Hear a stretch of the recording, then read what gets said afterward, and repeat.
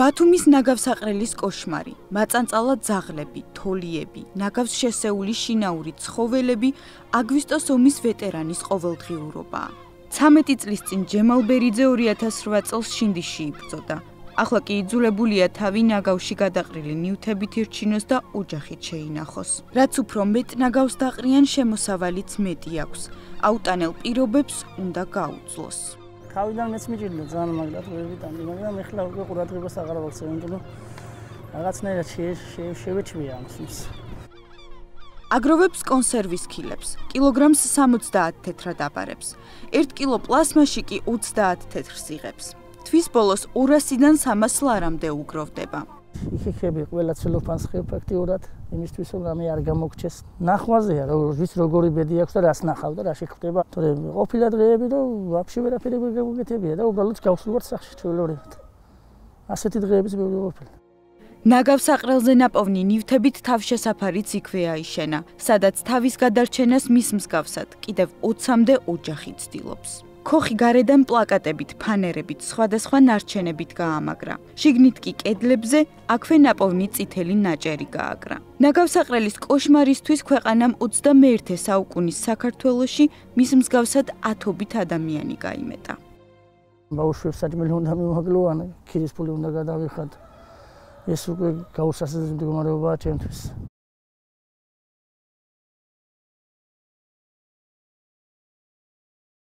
ოჯახი აქაურობას სოციალური დახმარებით გაარიდა.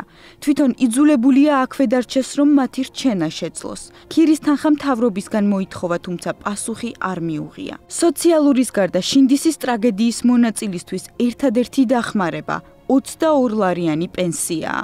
სამხედრო სამსახურიდან ომის დროს მიღებული თავის დახურული ტრავმის, ხერხემლისა და ელენთის დაზიანების გამო გამოუშვეს, ისე რომ არც კომპენსაცია მიუციათ. მოტყუებული გამომიშვა გორის დირექტორმა რომ არ მომცა ცნობა ტრამის შესახებ, არ მომცა ფორმა 100, რომელთაც მე კანონით მეკუთვნის პენსია, რათა ოჯახი ვარჩინო.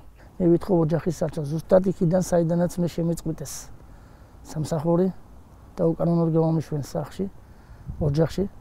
არც მოუკითხიათ თუ როგორ ცხოვრობდი რა გაჭირვებაში მოვედი აქამდე მე ქირით ნაშოვნი ერთოთახიანი ფიცრულის გარდა მისი ოჯახის საკუთრებაში სოფელ ზედალეღვაში არსებული დანგრეული სახლია. სახლი სადაც ცხოვრება არ შეიძლება, რადგან მოძრავ ქანებზე დგას და მეწყერმა უკვე ეზოს ნაწილი გამოაცალა. აქ მედგა ბოსელი, სადაც განიცადა მიწამა. დაქანება და ჩოლებრივად დაინგრა, როგორც არ ვიცი ხდება ხოლმე ეს. წაიღო ჩემი შვილი სასწავლებლად გადაურჩა ამ ყველაფერს საფიფარეშო იკითხეში იდგა და არ ვიცი ალბათ გადარჩა როგორ გამოვიდა და დაინგრა თან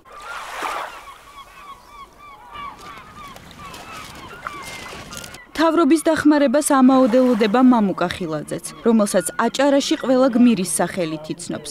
მამუკამ ტალღებისგან რამდენიმე ადამიანის სიცოცხლე იხსნა და დღეს სიცოცხლისთვის საშიშ პირობებში თავად ცხოვრობს.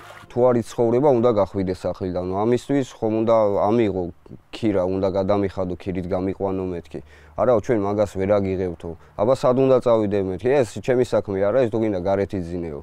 საკუთარი სიცოცხლის რისკის ფასად ქალაქ ბათუმში ზღვაზე შტორმის დროს სამი არასრულწლოვანი ბავშვის სიცოცხლის გადარჩენისათვის ერთი წლის ვადით გათავისუფლდეს სწავლის საფასურისგან. როცა პატარა ბავშვების სიცოცხლე იხსნა და ყველამ გაიცნო აჭარის მთავრობამ ერთი წელი უნივერსიტეტის გადასახადი დაუფარა. თუმცა მრავალი სიცოცხლის გადამრჩენელი მალე ყველამ დაივიწყა. იმ დროს, როდესაც დახმარება ყველაზე მეტად ჭირდებოდა, ქარმა მის სახს ჭერი გადახადა. გადახრილ და ბზარებიან კედლებში ცხოვრება უკვე საშიშია. ის მეწყინა, რომ აჭარის მთავრობა მედგა გვერდში, ბევრი რაღაცა გამიკეთა და ისიც მითხეს, რომ მამუკა მნიშვნელობა არ აქვს, თუნდაც ელემენტარული იყოს, მოდი ჩვენთან და ჩვენ ყველაფერში დაგეხმარებითო. ყველაზე მეტად რომ ჭირდებოდა, მაშინ შევაწუხე. და ალბათ სიტყვები იყო პროსტა ჰაერზე ნასროლი. ქარმა რო გამოიქნია ივანი გამოწეული იყო და ელემენტარულად რაღაცაზე გავედი დავდგი ფეხი და მაგერ მაგერ აქ თავით მაგზე გადავარდი თავით პირდაპირ. გეოლოგების დასკვნის მიხედვით სახურავახტილის სახლის გასამაგრებლად სარემონტო სამუშაოები საკმარისი არ არის. სახლი უნდა დაინგრეს და თავიდან აშენდეს, რისთვისაც ხელვაჩაურის გამგეობამ მხოლოდ 1200 ლარი გამოყო. კითხვა დაუსვი, უბრალოდ ეს თანხა ჯერჯერობით ეს დამიფინანსდა თუ სუმთლიანად ეს არის მეთქი? სუმთლიანად ეს არისო, დაუტოვე საბუთი ეს თქვენ უფრო დაგჭირდებათ ეს თანხა მეთქი. პროსა ვეკითხები მათ 1200 ლარში მათ სახლს გააკეთებენ ბოდიში და ტუალეტს ვერ გააკეთებ მაგ თანხით აჭარის მთავრობა მას უკვე რამდენიმე თვეა 2000 ლარს პირდება. თუმცა რატომ არ აძლევენ ამ ცირედსაც არავინ ეუბნება. ქართულ ოცნებაში ამბობენ, რომ არც მამუკას და არც ჯემალ ბერიძის შესახებ არაფერი სმენიათ. ასეთ ფაქტებს არც გავცნობილო, არც ჩვენთან შემოსულა ვინმე წერილობით, რომ კონკრეტულად ესეთი ფაქტების ვიცოდე მოქალაქეები რომლებიც გადადიოდნენ ქირაში პრეტენზია არავის არ გამოუთქვია მე არ ვიცნობ ასეთ შემთხვევას შესაძლებელია მართლმადთან დაკავშირებით ვერ მომხდარიყო აი ტრანზაქციის განხორციელება ნუ ჩარიცხვის ნაწილში რომ არ ჩათვლილიყო მოსყიდვის ნაწილში ქართულ ოცნებაში ნაგავსაყრელზე მცხოვრები სხვა 20-მდე ოჯახის შესახებაც არაფერი სმენიათ. ადამიანები, რომელთა არსებობაც ყოველს დაავიწყდა ცხოვრებას, ნაგავსაყრელზე აგრძელებენ.